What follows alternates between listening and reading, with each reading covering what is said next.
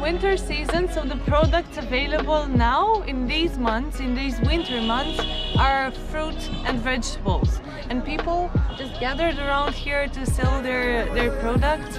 And the people are very, very nice. The whole scenery is so diverse. We're actually on a river canal.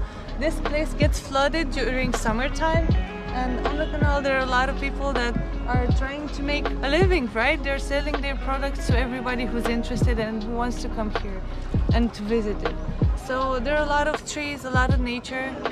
Everything is so special here just because you're just you have to cross from one boat to the other to get to your desired product to buy your favorite product. And the transactions are only done by boat